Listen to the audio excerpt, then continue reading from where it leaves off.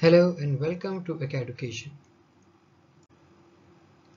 Number system is an important topic for any competitive examinations. Questions on this topic are frequently asked in the examinations and are very easy to solve if we develop a basic but strong understanding of the topic. So let us start our session with number systems. So before proceeding any further, let us first have a look on how numbers are classified. So the largest set of numbers is complex numbers. It is represented in the form of a plus iota b, where this is the real part and this is the imaginary part. After which the second largest set is real numbers, imaginary numbers. Then in real numbers we again have two type of numbers which is rational and irrational. We'll see these numbers in our next lectures but in this lectures what we'll be focusing upon is fractions, integers, whole numbers, natural numbers, proper, improper, mixed fractions, odd numbers, even numbers, perfect numbers and prime and composite numbers. So today's lecture would be a very basic one and from next lecture we'll be advancing towards some good problems and deep uh, deep theory about the topic. Let us start with the most basic set of numbers which is natural numbers. Now as the name suggests natural. That is numbers which are found in nature. And in nature we do not have any negative numbers or something which is zero. So we are unable to see that right? We can't see zero. So natural number are those numbers which we can count or basically which starts with 1 so 1, 2, 3, 4, 5, 6 like these till infinity are known as natural numbers and the smallest natural number is 1. There are no fractions, no decimals, nothing. Only direct counting 1, 2, 3, 4, 5, 6, 7, 8, 9, 10 and so on. Now natural numbers is divided in three parts prime, composite and perfect. So prime numbers, what are prime numbers? What are composite numbers and what are perfect numbers. So to understand these numbers, you'll have to understand first that what do we mean by factors. So we'll see that in our in uh, some time. First, let us have a look at basic definition. So prime number are those which are divisible by 1 and number itself. So it has exactly two factors. One factor is 1 and the other is the number itself they have exactly two distinct factors. This distinct word is very important because this is the word which makes one neither prime nor composite. So we have examples like 2, 3, 5, 7, 9, 11, 19 and so on. Then we have composite numbers. So numbers which are not prime or composite. This definition holds true if we also add except 1. So we have numbers like 1, prime numbers and composite numbers because 1 is neither prime nor composite. So numbers that can be represented as product of its prime factors are called composite numbers. They have more than two distinct factors. Now let us move on to perfect numbers. Perfect number is important uh, from the point of view of DI, data interpretation. Why? In tables, they would tell you that like if you have a table so they would tell that this figure holds a perfect number. So if you don't know what do you mean by perfect number, you won't be able to solve that, right? Because you won't be able to put some number in there. So perfect numbers are those numbers, sum of whose factors except the number itself is equal to the number. What does it mean? If we have a number 6, so what are its factors? 1, we have 2, we have 3, we have 6 right? So these are the four factors of 6 we do not have any other factor. Now what it says perfect number are those sum of whose factors except the number. So sum of whose factors means 1 plus 2 plus 3 except 6 so this should be equal to what? The number itself. So 1 plus 2 plus 3 is 6 which is equal to the number itself so it is known as a perfect number. Similarly, if you take it out for 28, you will get a perfect number again. So you have 1 plus 2 plus 4 plus, uh, 7 plus 14. So that is equals to what? 28. Now if you want to calculate other perfect numbers, so these are some even perfect numbers. 2 to the power n minus 1 multiplied by 2 to the power n minus 1. So these are some even perfect numbers that you can calculate. What are whole numbers? So when we include 0 alongside our natural numbers, we get whole numbers. So 0, 1, 2, 3, 4, 5, 6 and so on till infinity. Smallest whole number is 0. What are integers? So integers are formed when we include negative of natural numbers, 0 and natural numbers.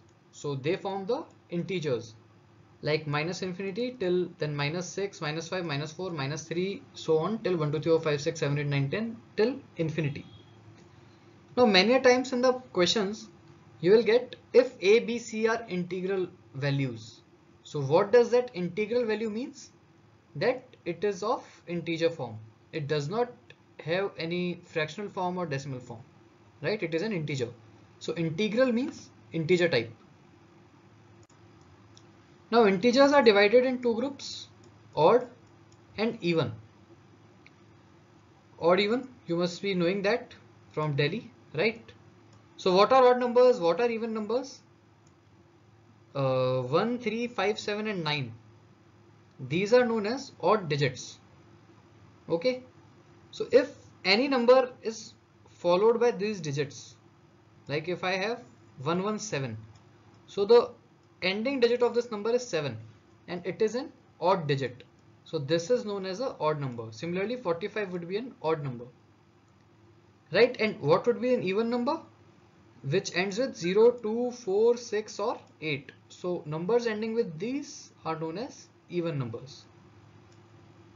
This is the basic definition of even numbers.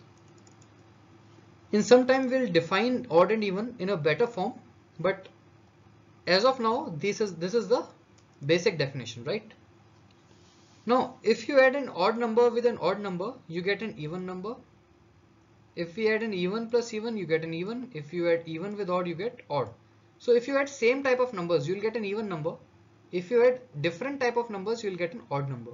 So 15 plus 27 it we have 42 24 plus 68 again we have 92 which is even. 13 plus 14 is 27 which is odd. So let us see what exactly odd number means. What it means we have seen that right but what will be its usage in uh, from our point of view. So for odd numbers if n is any integer then there exists another integer p such that p is equals to 2n plus 1. So if I have to represent 7 how will I represent 2 multiplied by 3 plus 1. So this is another number which is n and p is my odd number.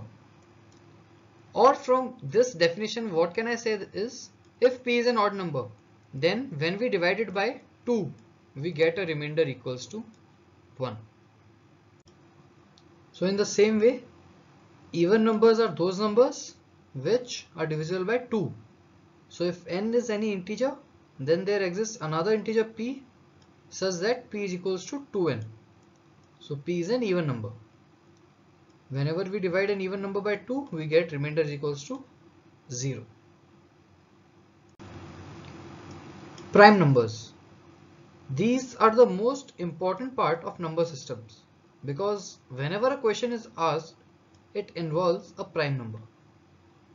So what are prime numbers? They are numbers which are divisible by 1 and number itself as we saw earlier 2 is the only even prime number. Just remember this because it is very useful. You'll get to know why it is useful in our coming minutes. Now all prime numbers greater than 3 are of the form 6k plus minus 1 uh, remember this also. What does it mean?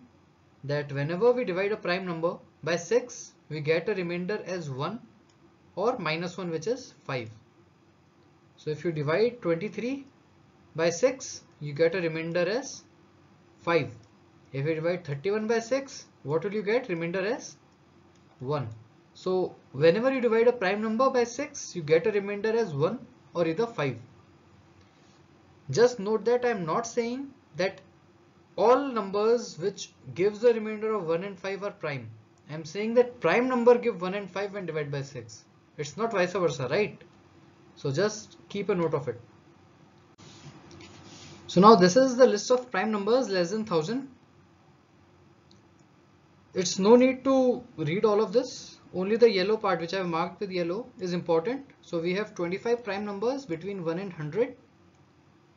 2, 3, 5, 7, 11, 13, 17, 19 and so on till 97. So just keep in mind all these prime numbers because sometimes we have to check the divisibility or we have to check prime numbers like it is is it prime or not. So you do not wish to miss any of these, right? So just keep a note of all the prime numbers from 2 to 97. First 25. There's a number 1001. So just check if it's prime or not. In the end of the lecture, then we'll see if it is prime or not. So if you want, you may just try it right now. Let's have a question on prime numbers. Try this question for two minutes and then we'll see how to solve it. So we are given with if a, b and c are prime numbers such that a plus b plus c is equals to 20 and a is less than b and b is less than c. Find the value of a. So we have three prime numbers ABC, sum of them is 20, A is as than B is as than C, find the value of A. What should we do? First of all, you should know that all prime numbers are odd except 2. So why we are, uh, why I am writing this? Because if we have all the three numbers as prime and that too odd, so odd plus odd will make it even because I told you right that similar kind of numbers when we add them we get even. And then you are adding even with odd so you should get an odd number. But 20 is even. So that means this number has to be what? Even. Or I can say any of A, B or C has to be even. So if all of ABC are odd then whatever I explained it to you like odd plus odd it will become even, even plus odd will become odd. So now what should we have? One of A, B and C has to be even. And if one of them has to be even, so which can be an even number? Obviously A. Because I told you A is the only, sorry, 2 is the only even number, even prime number. And A is the smallest number among ABC. And 2 is the smallest prime number. So obviously A has to be 2. So when you take A as even, so we have this even, B and C are odd, we add them, we get even number and when we have even plus even we have an even number. So always remember if you have odd number of prime numbers and you are adding them and getting an even number so it clearly means that one of them is even and if one of them is even it has to be 2 there is no other option for you. So let us move on composite numbers now. What is a composite number? I told you which have more than two factors, more than two distinct factors. Now any number n is composite number if n is this. This is a little bit of complicated definition. We'll come to it later on. So in other words, if a number can be represented as product of two distinct numbers other than one. So obviously if you have two distinct numbers which are factor of this number and you have one more factor so it has three factors and all are distinct because these two are distinct and they are other than one.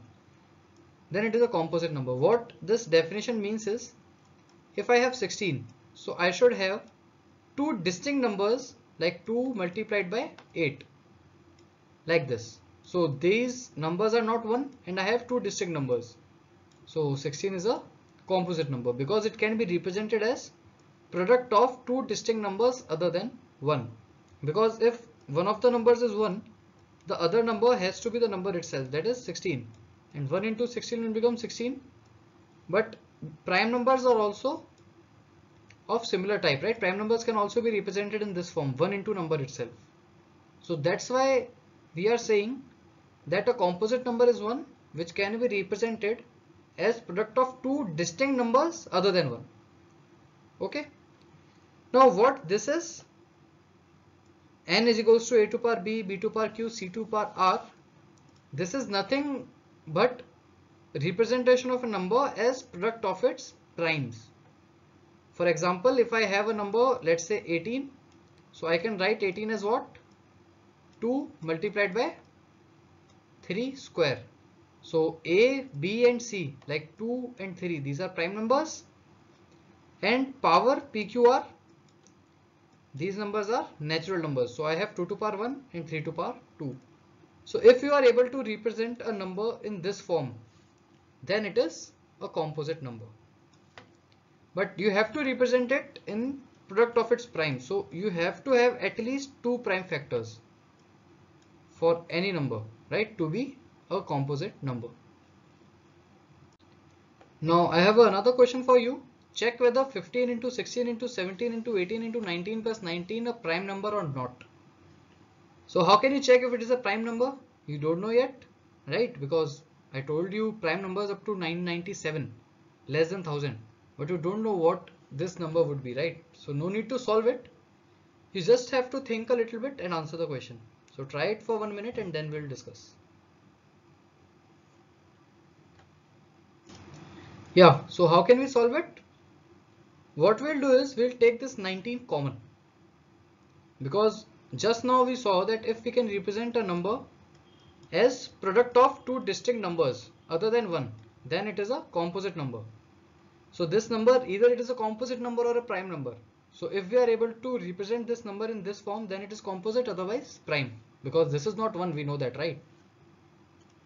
So we have this number we take this 19 common so what we get is 19 multiplied by this 19 gets cancelled out and we have taken it outside so 19 into 15 into 16 into 17 into 18 plus 1 so now we have two numbers one is this one and one is 19 so it can be represented as product of two distinct numbers so it is a composite number not a prime number from last 5-10 minutes, I am speaking this term factor, factor, factor. Now what this factor means, let us have a look at that. So factors or divisors of a number are numbers which divide the given number leaving a remainder of 0. For example, if we divide 28 by 7, obviously we'll get a remainder of 0. So 7 is a factor of 28. Now if 7 is a factor of 28, can I say 7 divides 28 completely? So if we have to write mathematically that 7 divides 28 completely, so this can be mathematically represented as this 7 vertical line 28. This is not a slash. Please remember that. If anywhere you find this thing that 7 a vertical line and some number or a slash oh sorry a line b this means a divides b that is 7 divides 28 okay? So it is not written as 4 it is written 7 divides 28 so just now we saw this. If a number can be represented as product of its prime for example 18 is equals to 2 into 3 square now 2 and 3 are prime factors of the number while there are many other factors as well so 2 and 3 the prime numbers and other factors are 1 3 sorry 1 6 9 and 18 so these numbers are composite factors and these are prime factors. Right. So if you have a question that a number is there, it has three prime factors. That does not mean that it has only three factors. It means it has exactly three prime factors and there might be some power like it this question has 3 square. So there may be more number of factors. Now how to find these factors in an easy way?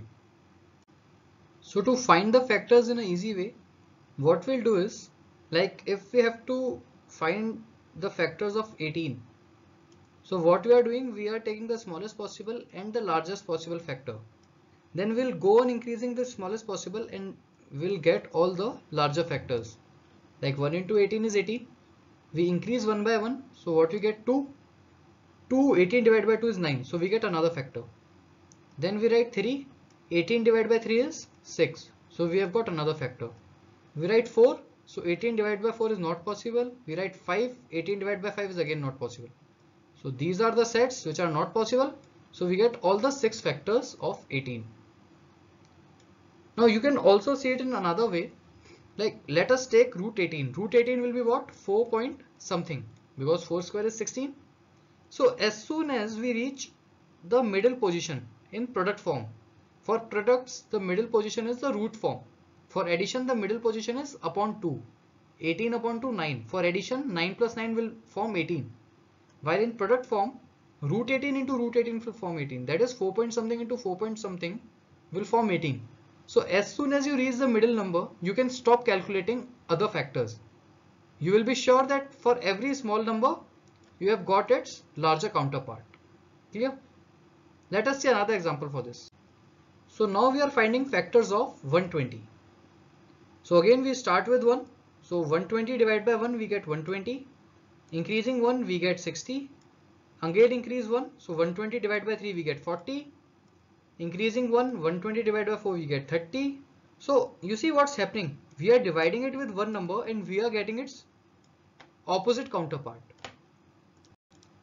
And till where we have to increase these numbers?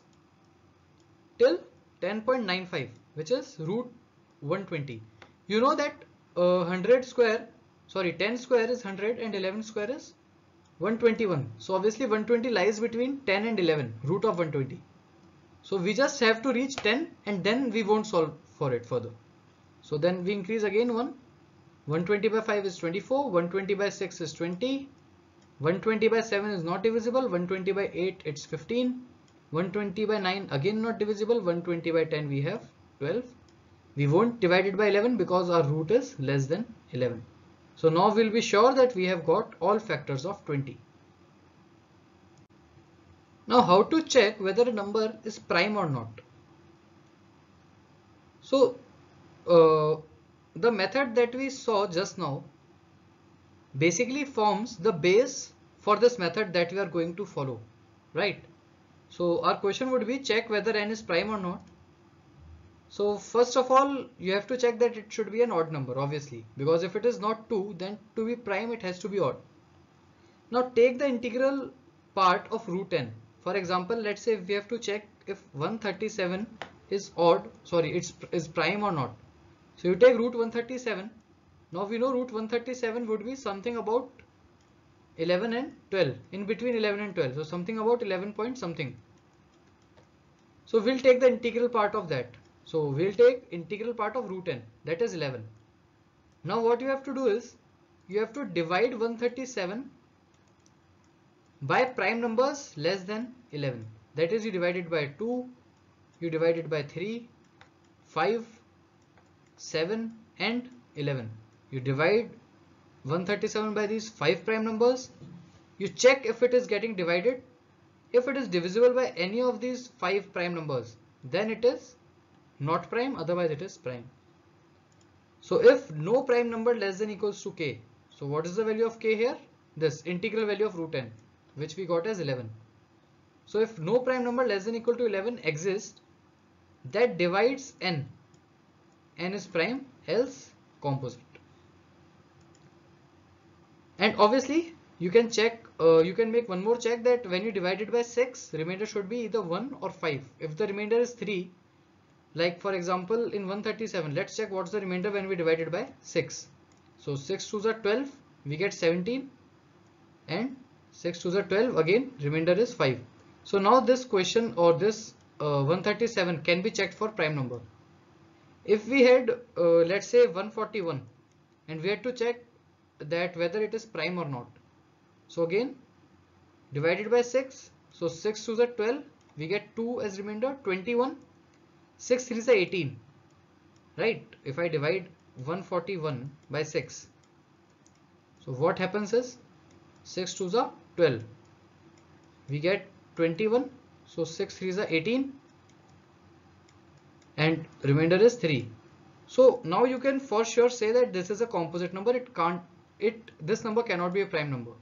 Why? Because remainder is 3 when we divide it by 6 so why don't we check with prime numbers greater than n?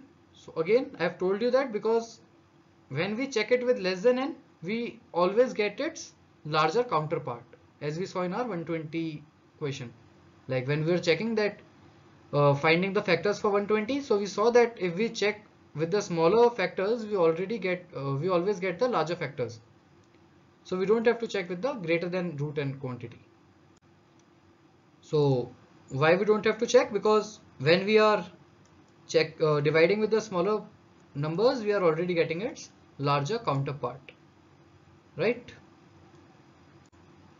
Now we have seen factors. What are multiples? Multiples are those numbers which occur in some numbers table as we have read in our 6th or 7th standard class. Or we can say a multiple of a number are numbers which the given number can divide leaving a remainder equal to 0. For example, if we divide 28 by 7, remainder would be 0. So we can say that 28 is a multiple of 7. Similarly, 27 is a multiple of 9. Let us look at another part of classification that is fractions. Now what are fractions? A part of something, right? If I have a pie, which it is not looking like, and I divide it into four parts. So this part would be what? 1 upon 4. So this is a fraction that this part is one fourth of whole pie. So numbers which can be represented in the form p by q where p and q belong to whole number and q is not equals to 0. So some of you who might be knowing what rational number is, you would be saying that this is the definition of a rational number. How can I write it in fractions? So there is this difference.